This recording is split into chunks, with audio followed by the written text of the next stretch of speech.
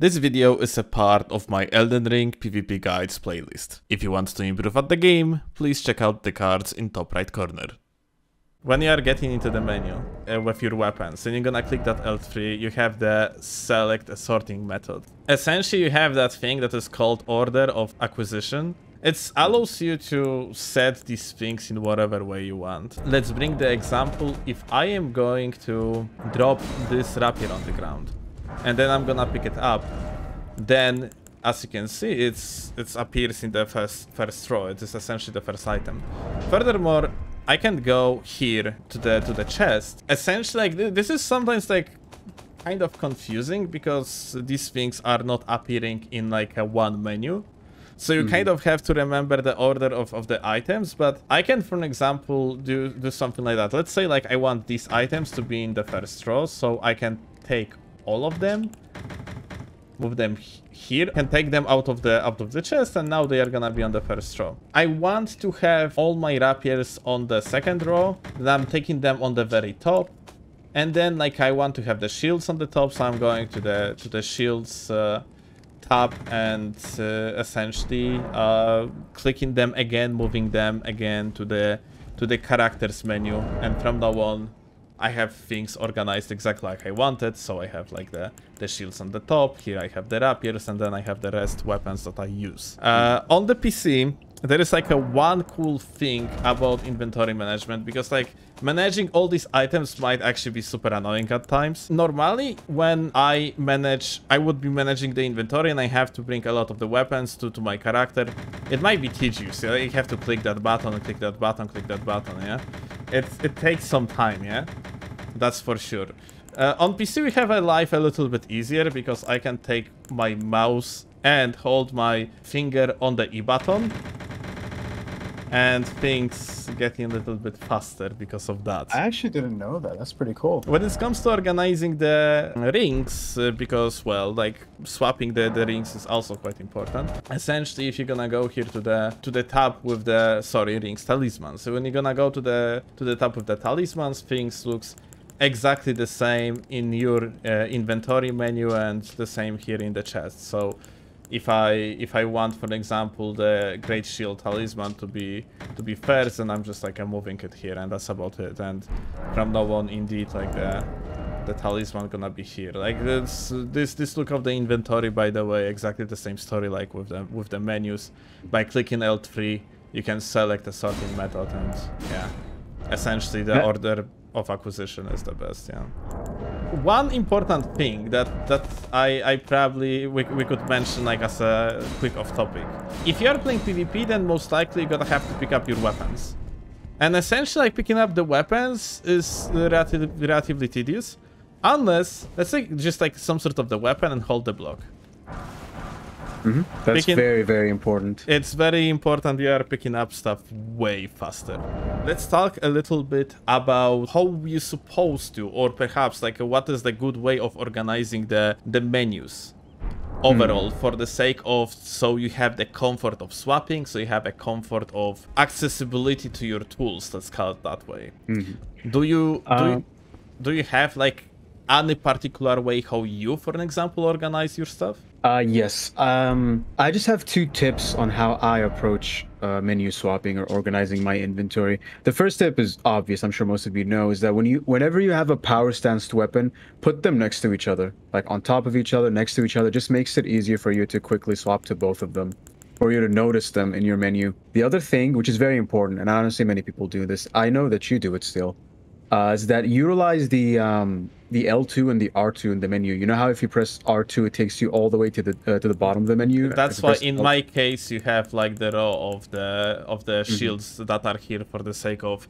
to parry people because I am parrying exactly. of the right hand. It, it is... can go beyond that too. If you have a bigger menu, you can use the R2 to um, uh, organize swaps. So like he, let's say you swap from the Stitcher and then you have it organized so that if you press R2, you go all the way down to a, um, let's say a great sword.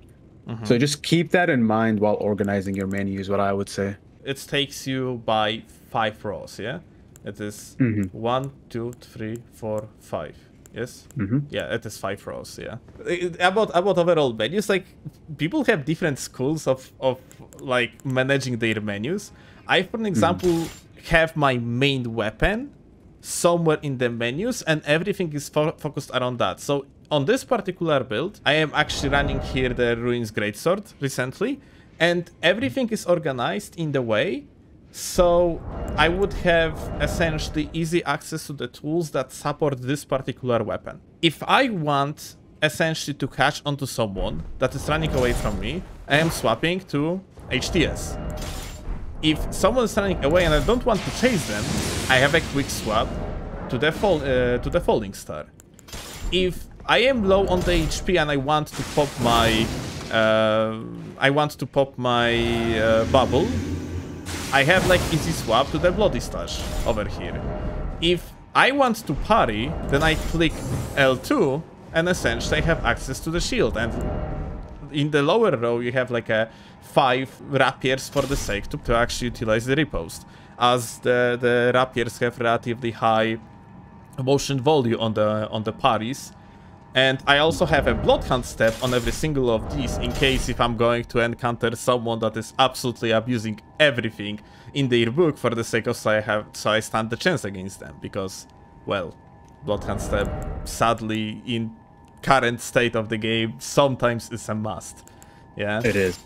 So I was thinking about that the other day. This is a little bit off topic, I'm sorry, Steel, but I was thinking that Bloodhound step is absolutely a necessity in 1v3s. You can't fight yep. a 1v3 without Bloodhound Step. Especially if you have like situation that you have asynchronous latency with people. I'm not sure if this is actually how you're supposed to, to call it. Like essentially uh, people that you're connected to have like a different latency to you. And mm. some of them gonna start using like a stuff like for example a dragon head. You are going to fucking die because you have two players that are pressuring at you and someone that is essentially like running a huge AoE. And when you are rolling, in this game, you're essentially getting slowed down at the end of the roll. So someone that is just chasing after you and like trying to running attack on you, like they're always going to be faster. So without swap to the bloodhound step for the sake of to run away from the from the danger, you're just going to get absolutely fucking obliterated. Yeah, like I also use the diagonal uh, swap, so here I have the thingy to hit through the walls, which, yeah, like essentially Ballsack goes through the walls, which is hella fun. uh, I have, uh, here I have Storm just in case, currently without mana, but yeah. Here I have Flaming Strike, which is a great zoning tool. Um, and essentially this is how I how I organize stuff. And up here I have I have rusted anchors. Uh, I have relatively fast swap to these, so yeah, I can always like if there is like a situation where I have to one-shot someone, then I also have like a fast swap to these, and I can just eliminate someone in one jump because well these tools with the correct ring setup just completely demolish anything, like anyone, no matter how many deaths someone has. Unless they are using the BFP, then perhaps maybe they can survive. But this thing going to do like a 2k damage. Only perhaps like a host with the Morgott rune is going to survive the dual Royal Knights resolve jump with these. Especially if you're going to counter hit. That's actually interesting because looking at your menu, at first glance, it looks extremely messy, but it's actually really well organized. Are there like any sort of the universal items that you always supposed to, to have in your inventory? No uh, matter uh, what, you always supposed to have them. I mean, this is a, a, little bit controversial, but I would honestly say the, the helm swap. Because you do okay. fight a lot of gankers that helm swap in, in lakes. You can encounter a ganks that essentially know what is broken in the game and so on. And one of these things, one of these things uh, are the Karolos Glintstone Mask and uh, Olivinus Glintstone Mask because look at my HP, it is 1235. If I'm going to equip the mask, nothing happens, but if I'm gonna start swapping between these, yeah, I have essentially yep. full HP. It's crazy. And if you if you encounter these gangs, they also have Bloodhound Step, so they can just Bloodhound Step away from you, swap quickly, and then you, you just you're back to neutral pretty much. Yeah, you like you can refuse to use things that are hella broken, and sure, like cheers for doing that. Like this is what I'm doing. I'm pretty sure this is what, what Hark is doing. But essentially, when you're going to find someone that is abusing everything against you, then, well, unless you just want to lose, you're supposed to also, like, use the, the broken shit. Just uh, treat them with their own medicine, like, simple as that. Uh, if we both had good connection to each other and he was helm swapping, if you are the better player, you can still win, but you have to understand that a lot of these gankers are usually extremely laggy. So you just literally have every single odd stacked against you in that invasion. It's a 1v3, they're all helm glitching, they all have Bloodhound step, they're all extremely latent. It's just, there's not, not much you can do unless you just want to go in and die and just be, be done with it, block and move on, you know? Well, that's up up to you. You can you can eventually just like a surrender, block the guy and move on, or you can just like stand up to the challenge. But yeah, if you want to stand to the challenge, then you sadly have to. You you have to use what is broken, or like at least what they are using. Yeah. Mm. I so I wouldn't use this in any other invasion. I would only yeah. use this if they use it. Yeah, the, the same like for in my case the same goes for the bloodhound step. Yeah, if I am in the situation that that I find it only necessary to use, then I'm gonna use it. Otherwise, I'm not gonna use it. I'm gonna take an mm. L. It's like simple as that, yeah? For dueling, I would definitely say Royal Remains. It's pretty good. Yeah, so how the Royal Remains working like is you essentially generate 2 HP per second for every single piece that you are currently have on if you are below 18% of your HP. It's gonna take me a while to get there, but I, I will get there at some point. If you are going to be below 18% threshold, these items gonna start healing you, and here we are. Essentially, as you can see, oh, I was essentially almost on threshold. Here you go. So I am regenerating that 4 HP per second because I am currently on the swap of the gauntlets and on the swap on the on the leggings. Uh, you can also swap uh, the helmet and the, the armor set. Uh, essentially, I'm, I don't have these currently on the character, so I cannot show it, but you can have up to 8 per second, plus on top of that, there is also Blessed Dew Talisman that heals you for the another 2 HP per second, so you can you can heal with the speed of uh, 10 uh, points per second. But I do not recommend it because if you are dwelling and there is no healing involved, then when you are below 20% threshold of the HP, you can use the Blue Feather Talisman. So being below 20% HP is actually worth it. So it is it is good to not use the uh, Blessed Dew unless you are very good at counting your current amount of the HP, because you're gonna have to unequ unequip it at some point. So, like, if you're going to go above the threshold uh, of, of these 20%, you are going to absolutely freak yourself over because you are not going to get these amazing defenses. Currently, mm. I am sitting at 65% physical defenses. Because of this talisman, if I'm gonna take it off, it's 31%. So, like, the boost is huge. And on top of that, uh, smoothly going to yet another item Maybe actually like worth to mention that like a blue feather talisman is definitely something that you're supposed to have as well. I would say that, yeah. There's yeah, a lot of talismans that are a must-have. Blessed Dew talisman, blue feathered, claw talisman, because jumps are like a, a part of the playstyle with every single weapon in the game, so you want to have claw talisman. Yeah, yeah, okay, um, that's that's correct. But uh, uh, essentially, when it comes to the talismans that are definitely necessary, then like a blue feather is probably the one. Yeah.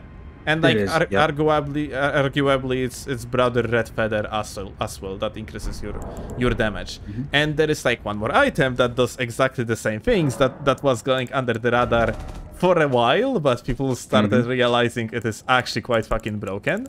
There I is, love this shield. that there is that one particular shield that I don't see. Okay, next here we go. Shield. Yep. So yeah, this is something that I, I, I keep on forgetting to get on my build, but I supposed to have it here.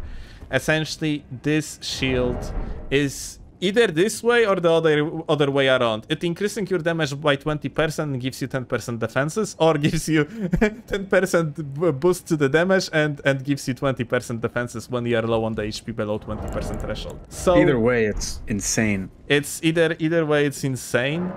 So for an example, right now my AR went to 1030, whereas Insane. normally without these items it would be 717. So the shield only over here gives me like a boost of almost 150 and then you slap like blue feather on it and you have like a 1030 AR. The, the king like drops the, the, the actually very important uh, info about item that we always supposed to have, which is jar cannon. Yeah, absolutely. Jar cannon, Absolutely. absolutely. an item that you're always supposed to have on your menus when you are invading 100%. And you can use it for relatively free because of how big the game is. You can buy yourself a lot of space uh, uh, to use it. It's not hard to use at all. Yep. So, and even accessibility for this item is relatively low. You need like 34 strength. But now, you can get 5 strength from the talisman, another 5 from the Soreseal. So, this th there is where uh, where the 10 additional strength comes from. And if you're going to uh, to two hand the weapon, I think like you need for for jar cannon you need like 24 strength. Yeah, 20, around like 24, 25. And uh, So on- not that much. if you, and on top of that, if you cannot like have the jar cannon, then you can use the ballista. Yeah. And th- th- these tools like working, if I'm not mistaken, they are working exactly the same. Yeah, just that like one is stronger than other, and that's it. So and and ballista has like minimally less uh, of the of the strength requirement. Yeah. So essentially, you can technically use this tool on every single build. You would need to have like a 9 base strength to not being able to use it. So yeah, like unless but then if you have like 9 base strength then what you are playing? You're you're probably playing the uh, the the pure mage. So then you have access to the other stuff that work in like a jar cannon. So so yeah, you, that essentially yeah, it's it's it's worth to overall have an item that uh, can push people around of the of the ledges and so on and so forth. Yeah, I guess uh, maybe something for shields. I Like, was I was thinking exactly about the same. And you know what? What I started doing recently.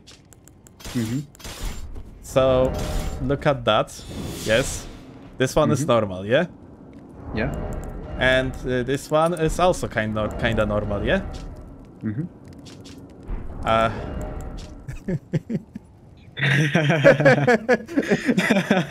it actually it actually one shots. Uh, I I I'm, I have to do like further testing against people that use the the uh, Great Shield Talisman. Uh, but uh, for the fact I know that this setup with the with the crouch attack essentially I, I never had a situation that I didn't break through the shield and I'm pretty sure Even fingerprint? even fingerprint.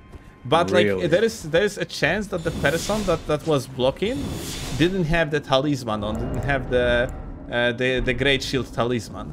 But then I have this. And there is no way it's not gonna break. like the, there is no fucking way. Not not when you are using the uh, not when you are not when you are using the the hammer talisman. Not when you are using dual RKR, and on top of that you're also using the uh, breaking thingy in the flask. Yeah, temporary makes stance break easier. Mhm. It is it is actually absolutely demolishing. It's it, that's good, but uh, I don't see this. Sadly, I don't see this working on like a Dex build or any other sort of build. Ah, yeah, yeah, yeah, yeah, yeah, yeah. Like I, that's that's actually that's that's true. It's not gonna work on the Dex build. So yeah, this is ex- essentially exclusively like the shield breaking. In this actually this particular way is kind of uh, strength build exclusive, I would say. Hmm. Knowing how to how to hard swap, how to menu swap, doesn't make it useless to have the items here on the soft mm-hmm. swaps. Having a comfort of swapping is also important and sometimes just having the constant possibility to just click that right d-pad and just swap to the another weapon is just more import, important than than accessing on the high skill ceiling mechanic that is that is menu swapping. And if if I have essentially possibility to slap the weapon here on the soft swap, I'm absolutely going to do it because it is more consistent. It is more consistent, yeah.